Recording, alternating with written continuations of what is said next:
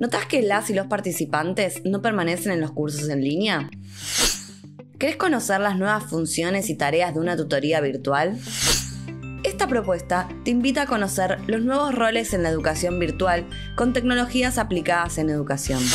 Sugerimos tener en cuenta nuestros cursos relacionados.